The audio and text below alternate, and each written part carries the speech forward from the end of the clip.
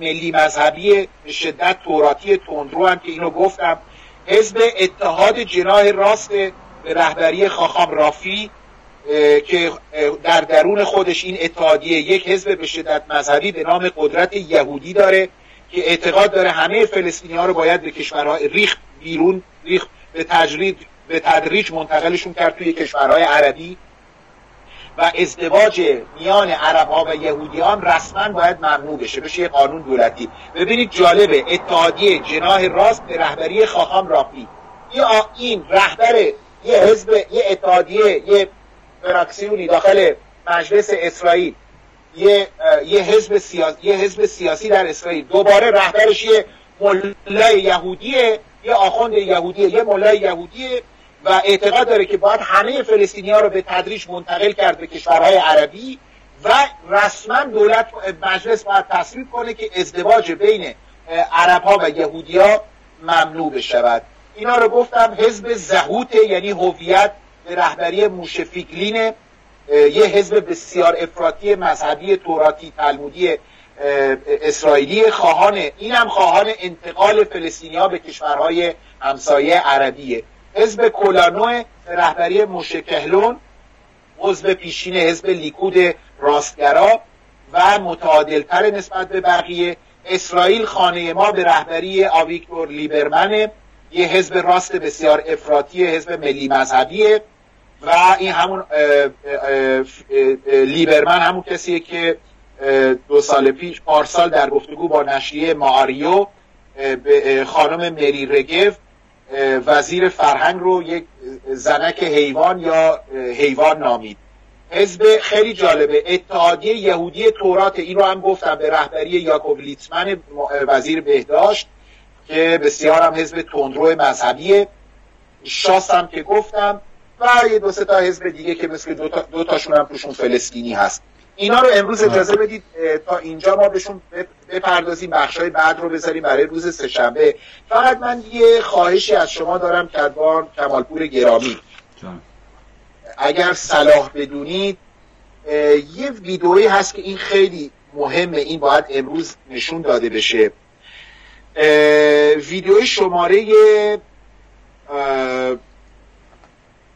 بله شماره 18 خاخام هاراف شمائل چقدر نام شبیه هاراف پرتو همون ملا یا خاخام یهودیه که تو برنامه پارس اسرائیل روزای آدین شب یا جمعه شب میاد تفسیر تورات تلمود می‌کنه.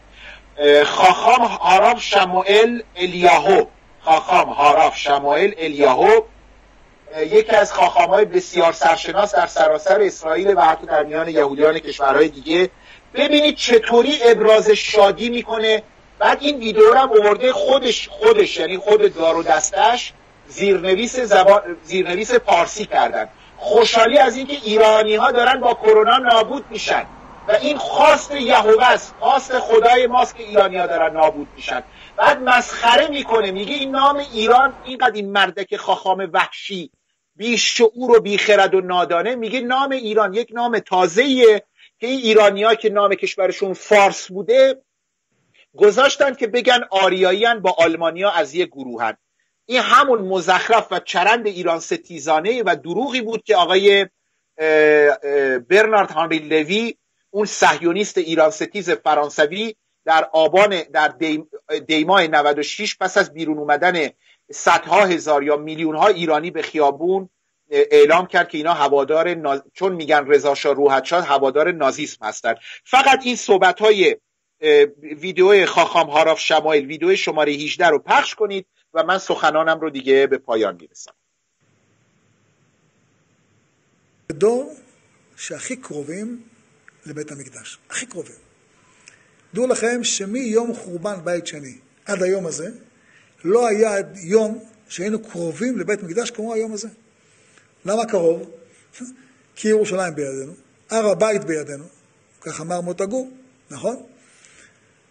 היום הערבים נחלשים החולשה הכי גדולה שיכולה להיות, הכי גדולה. רק להזכיר לכם שרק בשבוע האחרון, בשבוע האחרון, כן, התבשרנו על ידי הצוררים הכי גדולים שלנו, שר הבריאות של איראן, רז הרייסי, כך שמו, שם רשעים ברכיו. הוא בישר ואמר שבשני מחוזות גדולים מאוד באיראן, אחד קוראים לו קום, אחד קוראים לו גילן, שני מחוזות ענקיים ליד טהרן, 40% מהתושבים חולים בקורונה. בטהרן עצמה גם כן 15 אחוז. בכל המדינה גם כן הרבה מאוד אנשים. לפי חשבון פשוט זה משהו כמו עשרה מיליון, כמו כל העולם כולו. פלט את זה, ב... מי, שלא, מי שלא מבין, בשביל מה כל הסיפור הזה של המסכות ושל הזה והרעשנים, בשביל מה כל זה? הקדוש ברוך הוא עושה דין ברשעים. עכשיו, עם ישראל לא יושב בשקט. כתוב מלכות הרשעה מהרה תעקר ותשבר ותכלם ותכניעם במהרה בימינו. אז אה, אנחנו יודעים כולנו שבשבוע האחרון המתקן בשירז נשרף, ובפורצין זה, היה שם פטריה ענקית, כל טהרן התעוררה. זה גם כן, שבוע שעבר. אה, ובנתנז אומרים שכל הצנטרפוגות שלהם התפוצצו. מי יודע מי עשה את זה, נכון? אף אחד לא יודע. באהווז גם כן התפוצץ להם השבוע משהו. תחנת כוח. בקיצור, כל יום השתבח שמו. אנחנו צריכים לעשות מסיבה. להודות להשם. כי הארורים האלה, הרשעים האלה, הם אומרים שעניינם לעשות פתרון סופי לעם ישראל. ארורים, ארורים כל הרשעים. זה מה שהם אומרים. זה לא אני אמרתי, והם משקיעים בזה מיליארדים. והם משקיעים מיליארדים בחמאס, ומיליארדים בחיזבאללה, ומיליארדים בסוריה. מה יש לך? מה עשינו לכם? ממש. לא יאומן. אגב, שתדעו, למה קוראים להם איראנים? פעם קראו להם פרס. איך התחלף השם לאיראן? זה הכל בזכות uh, הצורר הגרמני. הוא חידש שהגרמנים זה גזע משובח, גזע ארי. והגזע הזה הגיע לגרמניה מאזור אה, איראן. אז הם אמרו, אם אנחנו שורש הגזע הארי, גם אנחנו נקרא לעצמנו איראן. על שם הגזע הארי. הלך זרזיר אצל עורב. ואלה רוצים פתרון סופי, ואלה רוצים פתרון סופי. והקדוש ברוך הוא מכה אותם, כי מחו ימחה. וזה לא נגמר. אנחנו צריכים להגיד לקדוש ברוך הוא להודות ולהלל. כמו פורים. להודות ולהלל. הקדוש ברוך הוא עושה לנו ניסים כאלה גדולים. והם אלה שמתדלקים את כל שונאי ישראל. והם מחמשים אותם, את המנהרות, את הטילים, את הכל, שכולם מכוונים עלינו. בשביל מה? מה אכפת לכם? מה, מי אכל לכם את הלחם שלכם? מה אתם מתעסקים איתנו? אומר הקדוש ברוך הוא, מי שנוגע בישראל כאילו נוגע בבבת עיני. והנה הקדוש ברוך הוא אומר, קץ שם לחושך, ואת רוח הטומאה אוויר מן הארץ. ואנחנו רואים כל יום, יראו עינינו וישמח ליבנו. רואים כל יום. אדם צריך כל יום להגיד מזמור לתודה בשירים וריקודים. להגיד כל שבת נשמת כל חי עם כל הלב והנשמה. להגיד מודים על ניסחה שבכל האמנו, בכל העוצמה שהוא יכול. איזה טובות עושה לנו הקדוש ברוך הוא בדור הזה. בזכות בחורינו הטובים והיקרים, שהקדוש ברוך הוא ישמור אותם, שלא יתפס אף אחד מהם, שלא ינזק אחד מהם, שיהיה להם ברכה והצלחה, ושימשיכו בכפל כפליים. אנחנו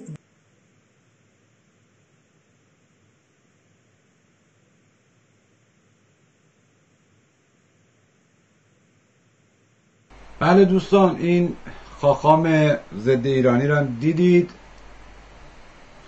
که چگونه داشت از اتفاقاتی که در داخل ایران میافته خوشحالی می‌کرد. بفرمایید دکتر. خواهش می‌کنم این الان اتفاقا پایگذار میگنی که بخشی از این مسائل هم همین گور به گور شده عبادیا یوسف بود که از چند سال پیش خواسته بود برای نابودی ایران تو کنیسه ها دعا کنند و شوربختانه در بعضی از کنیسه برای نابودی ایران و ایرانی دعا خونده نیایش می‌کنن نماز می‌خونن. یعنی آرزوی دیدی که با چه بیشرمی ابراز خوشحالی می‌کرد. گیلان 40 درصد تهران 15 درصد. شرم هم نمی‌کنن اینها. این باید پیام آشکاری برای اون دسته از هم میهنان ما باشه که کمان می‌کنن اونجا براشون فرش قرمز و زیرانداز قرمز انداخته شده که بروند اونجا و اینها رو ببوسند و در آغوش بگیرن دنبال آشتی ملت ایران و اسرائیل هم هستن یه مش ابله احمق میگن دنبال آشتی ملت ایران و اسرائیلی. بعد اینا که بزرگاشون هستن اینجوری دارن عراجیف میبافن. و خب بله ملت ایران یه ملتی است در درازای چند هزار سال گذشته پیشینه خودش.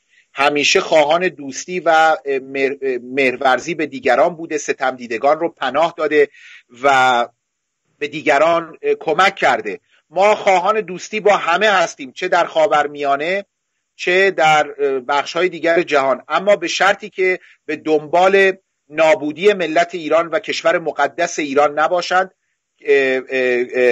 و برای تجزیه ایران و آغاز جنگ درونی در ایران و جنگ زبانی و تیرهی یا تباری در ایران برنامه ریزی نکنن و پول هزینه نکنن وگرنه میهن پرستان با هرچه در توان داشته باشند در برابر اینها خواهند ایستاد. به من پروانه بدید.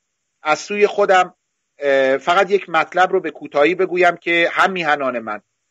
رسانه های صهیونیستی پارسیدان در اسرائیل اکثرشون دارن با موساد کار می‌کنن و بلندگوی پارسی زبان موساد در اسرائیلن. همان گونه که بی بی سی و نقشی رو که بی بی سی برای وزارت امور خارجه و دولت انگلستان و صدای آمریکا همون نقش رو برای وزارت امور خارجه آمریکا یا دولت آمریکا بازی می‌کنه. فرقی میان اینها با بی بی سی و صدای آمریکا نیست. این رو از یاد نبرید. بسیار بسیار از شما دو بزرگوار سپاسگزارم از اینکه بردباری کردید هم، همراهی کردید و با همدیگه تونستیم این برنامه رو پیشکش بکنیم به هم میهنان گرامی و از بینندگان گرامی هم که بردبارانه نزدیک به چهار ساعت رو زمان گذاشتن و بیننده این برنامه بودن یک جهان سپاسگزارم. اگر پرسشی بینندگان یا شما دو دوست و برادر گرامی ندارید بفرمایید که من دکتر جان تشریف داشته باشین تشریف داشته باشین. من چند مطلب رو بگم.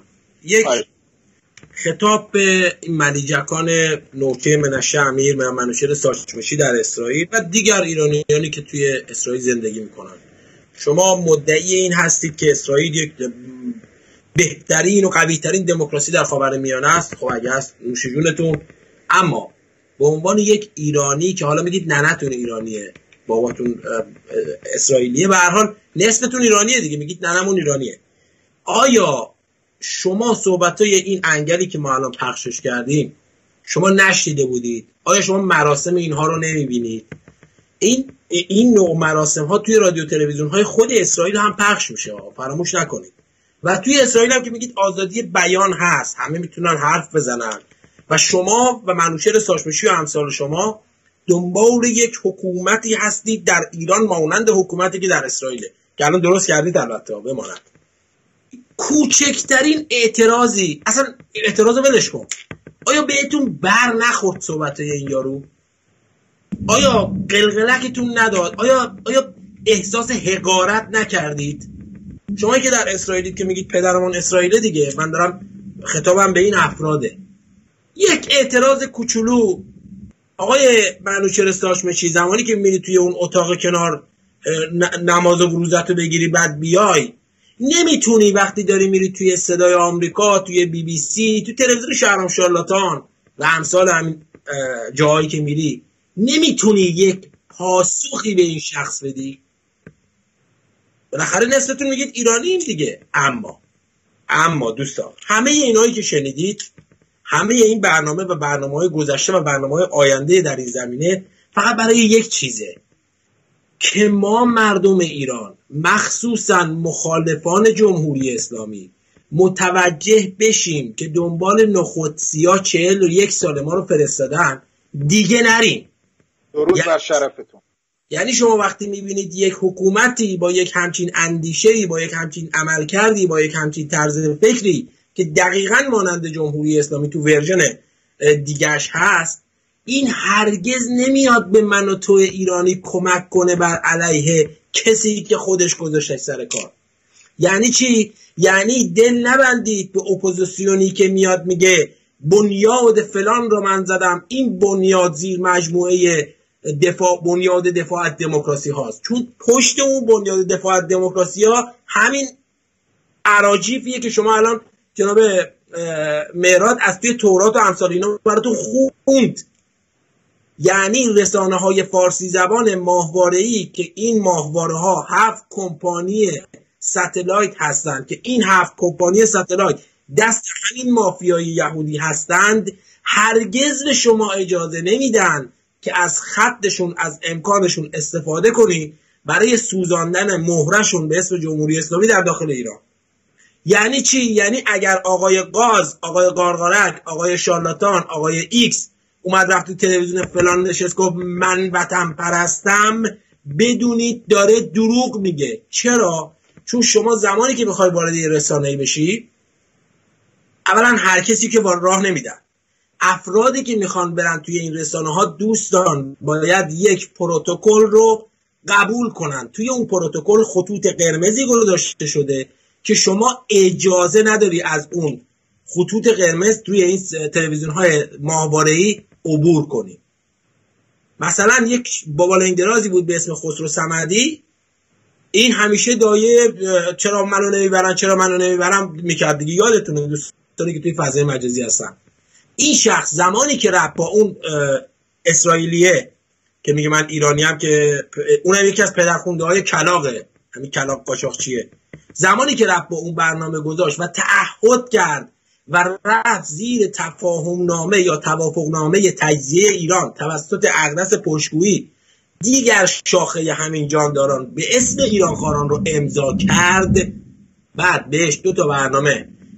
توی ایران آریایی ایران فردا پنجره روی گاف صندوق رفسنجانی و عربستان و دو سه تا برنامه هم همون زمان توی تلویزیون شهرام شارلاتان که الان هم توی تلویزیون شهرام شارلاتان بهش برنامه دادن. چرا بهش برنامه دادن؟ چون خسروی صمدی بره مشتری جمع کنه برای تلویزیون شهرام شارلاتانی که رضا واجبی بیاد یه سری مزخرف بر علیه شاهزاده رضا پهلوی و مردم ایران بگه.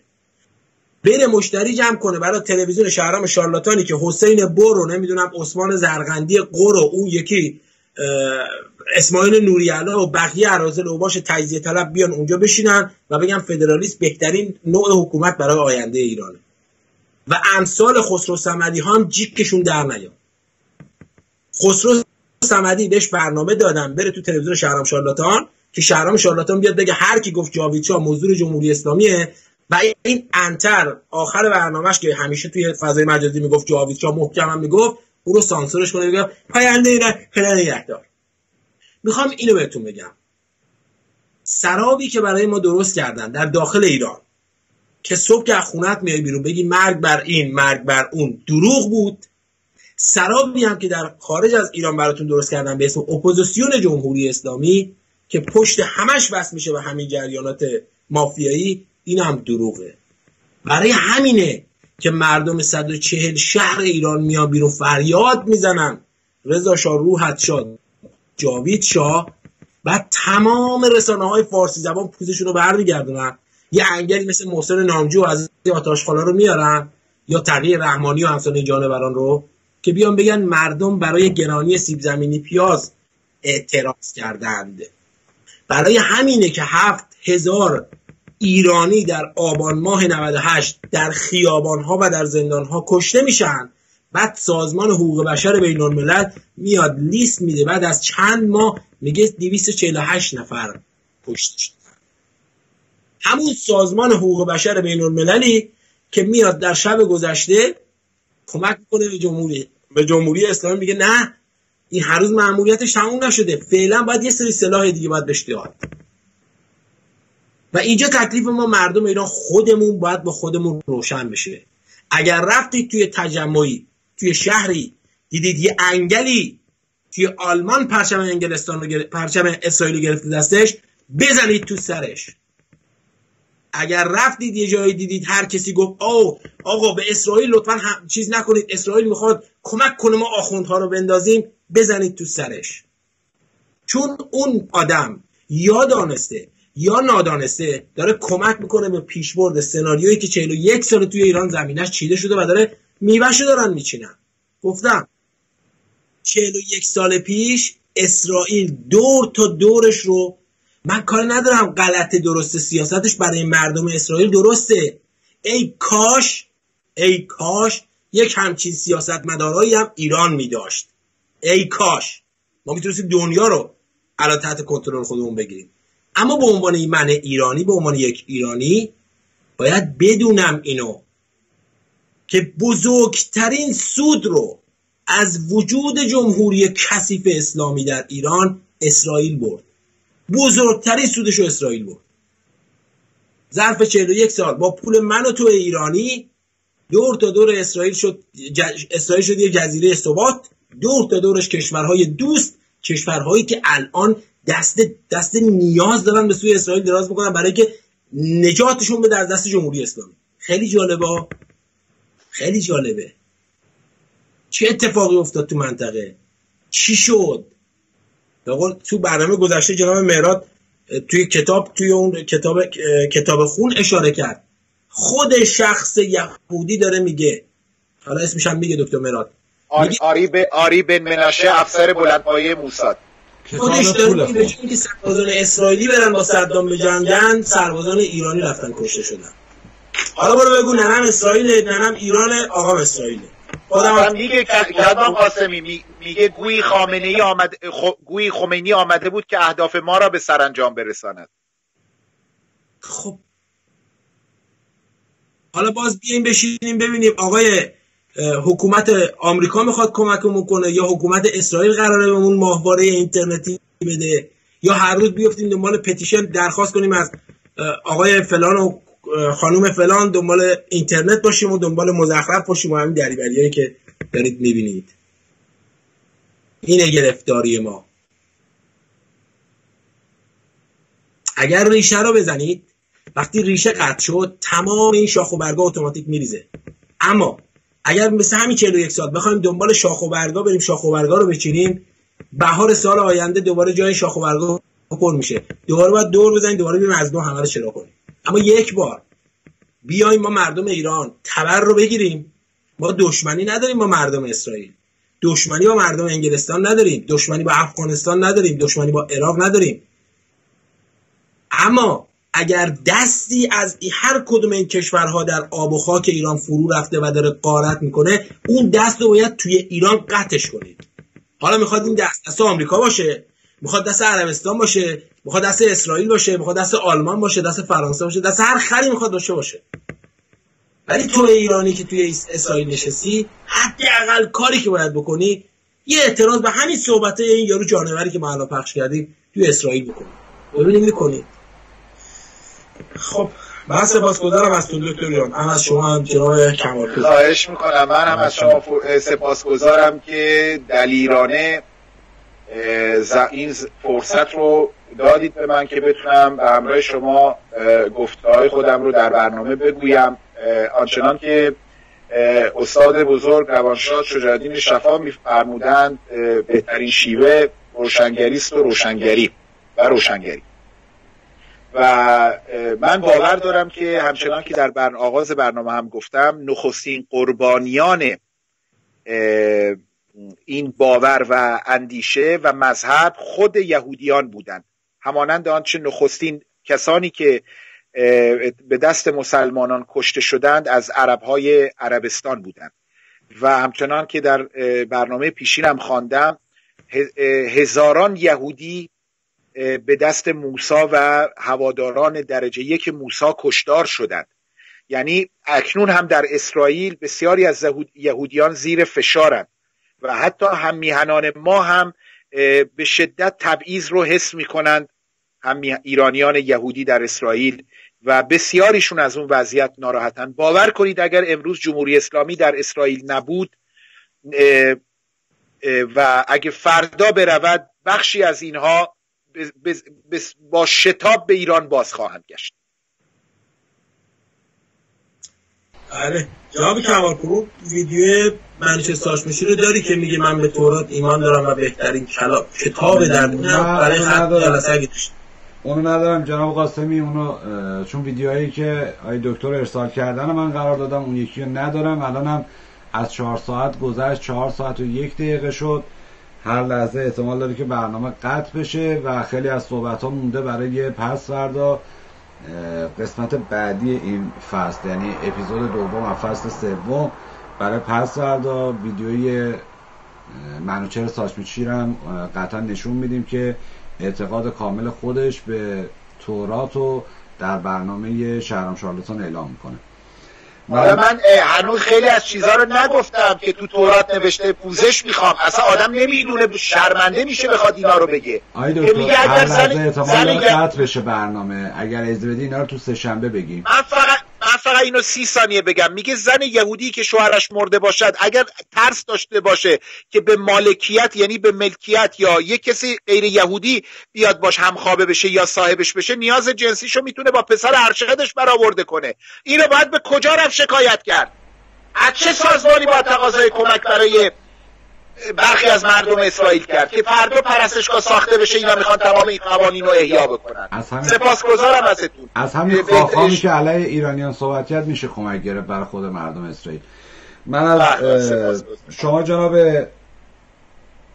دکتر مهراد عزیز سپاسگزارم. جناب قاسمی خسته نباشید سپاسگزار از شما. دوستان از اینکه چهار ساعت بیشتر همراه ما بودید تا پایان برنامه از یکایی که شما عزیزان سپاسگزارم.